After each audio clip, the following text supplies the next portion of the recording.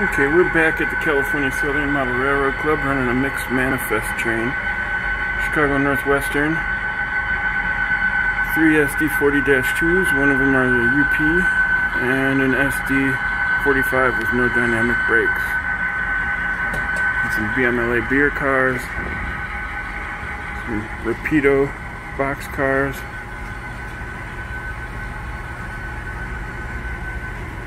some long high cube Athearn cars.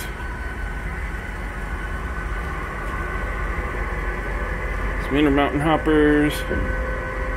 Athearn 8,000 gallon tanks. That's an Atlas. That is a Rapido.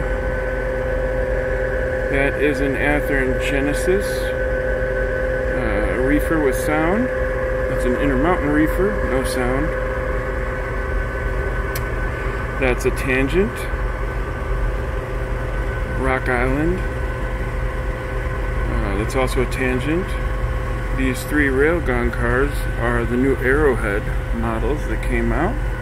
We have a couple more tangents here. The CNW tangent. This is also CNW, uh, just as the other Rock Island was. Uh, when the Rock Island went out of business, CNW got a ton of their equipment, and so this was a very common thing to see in the Midwest especially in the late 80s, early 90s. Uh, this is also a very common Midwestern car. A couple more hoppers. Uh, these two were Athearn ready to roll. This one is an Athearn Genesis, the smooth side. A couple of Scale Trains finger flats. Uh, that Brock's air slide hopper is Scale Trains, and the remaining four are tangent, and then this is trailed by an Overland Models Chicago and Northwestern bay window caboose. Right now we're parked waiting for clearance to pass the crossover out of the yard. And we have a green, so we are clear.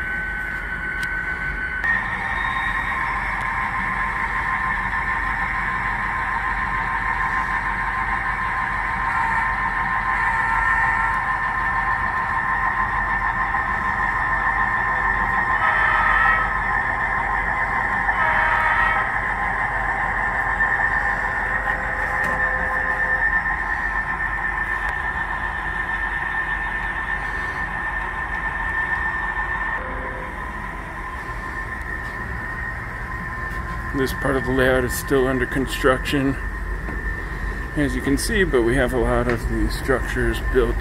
A few more structures to come.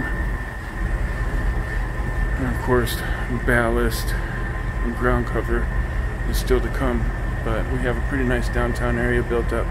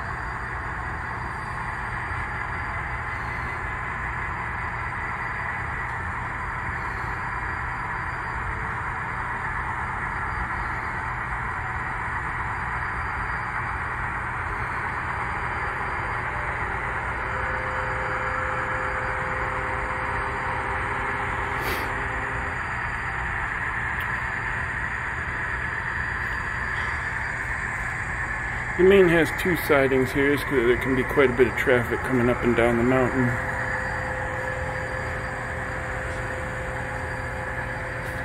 We also have a little area for helpers here.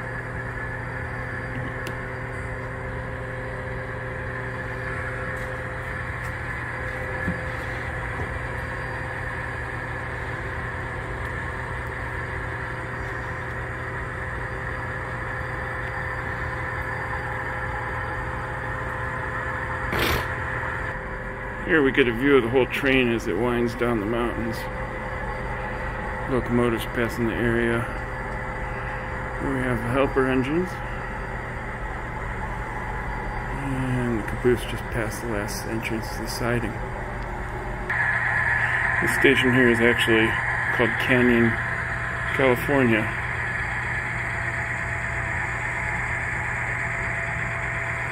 We have a little crew lounge area as well. And proceed down the hill. Cut into another tunnel. We actually go through a couple of tunnels. Mm, come out quite a bit lower in elevation.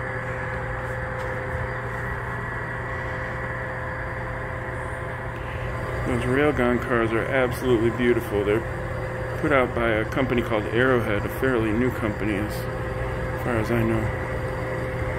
I think this is the, maybe the second car they put out, but I could be completely wrong.